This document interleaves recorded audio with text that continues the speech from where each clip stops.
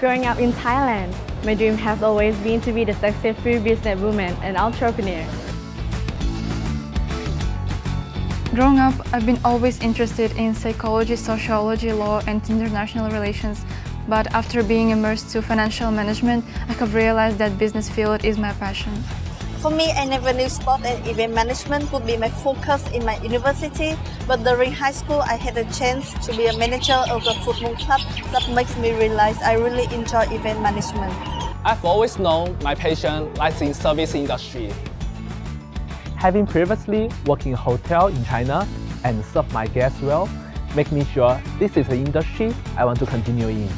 Coming to the program with low knowledge and experience turns out to be the wonderful thing.